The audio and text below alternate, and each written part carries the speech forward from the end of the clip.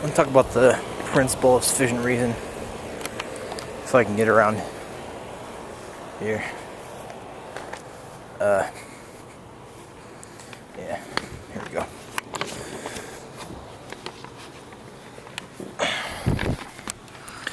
Alright, I'm back to this one spot. Uh, the principle of sufficient reason. I'm going to talk about it here. It's going to define what it is.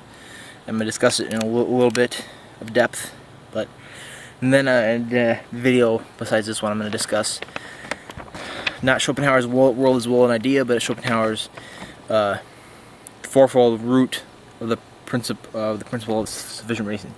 It's one of the first works um, Schopenhauer ever did, but uh, um, and the reason I'm doing this is because. Uh, Schopenhauer in World, World as Will and Idea discusses, know, I'm making videos discussing every uh, principle in that book. Well, in the abridged version, version anyway. And he he uses he talks about the principle of sufficient reason, reason quite a bit. So I want to go into it somewhat. The principle of sufficient reason. It's the idea for for every x if X exists, there is a sufficient explanation of for why X exists. For every E, if E occurs, uh, there's a reason for why E occurs. Um, for proposition P, if um, if P is true, there's a reason why P is true. The principle of, of sufficient reason is just the principle that says that if something uh, either exists, occurs, or is true, then there's a reason for it. There's a there's there's an explanation for things that you know the reason that we have science, the reason that we have philosophy, and all these things is because um, is because we all most of us agree that for things that either that either exist, occur, or are true, there's a there's an explanation for that. They don't. There. This is not. This environment is not just a uh, place. It's not. A, it's not a. It's not a system of chaos. It's not a. It's not a, a state of chaos by any means. Well, I mean it is a little bit, because I mean, or, or it may it may it may look like that to us from the from from the outset but most of us agree that even if we have not come into an, an explanation, there there is some exp explanation. There's a sufficient reason for why things exist, occur, or are true.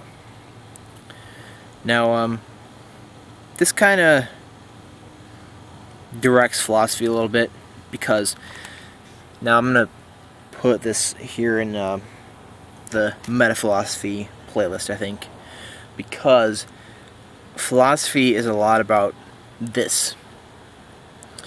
There are nihilists, there are um, anarchists, there are people who think that there are things that happen that, you know, don't happen for any real, there, there's no explanation for them. I mean,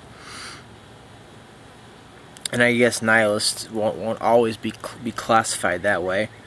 But, uh, and I would say I'd have to agree with the principle of, su of sufficient reason that, that if X exists, there's a sufficient there's a there's a sufficient explanation or a reason for why X, X, X exists. Uh, let's think about uh, that that that blade of grass there.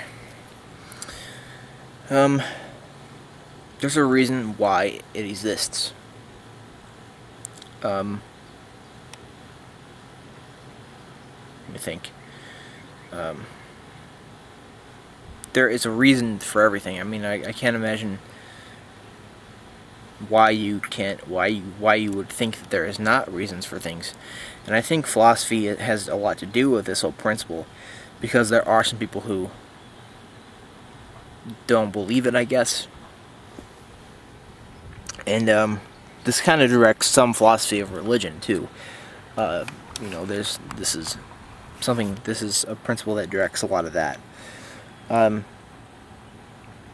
Professor Anton the other day was talking about nihilism, and people who think that there's no meaning for life, there's no real reason for our lives. Uh, he classified them as nihilists. Um, now, I want to compare that to people who think that there are not reasons for things. Um, think about our lives. I mean, there's there's a reason, there's an explanation for um, for why you exist or how you exist, but I don't know. I guess I don't want to use the word nihilism because uh, I can't imagine somebody who doesn't agree with the principle of sufficient reason, but I don't know. This is just my little thoughts on this because I can't see any way out of it. The reason there is science, I mean, the reason there's science and there's philosophy is to debate things beyond this. But I wanted to just discuss this because uh, um, it came up in, in Schopenhauer's World, World as Will and Idea, and I think it will later. But and then beyond this video, I'm talking about uh, Schopenhauer's fourfold reasons.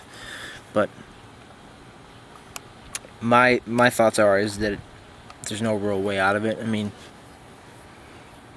if, if there's anybody, if there's any of you who think that the principle of sufficient reason is wrong, please tell me below because I would like to hear about this.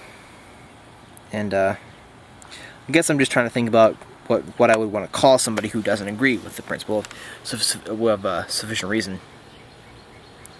Um, and I guess I wouldn't want to call them a nihilist because it's they would need a more.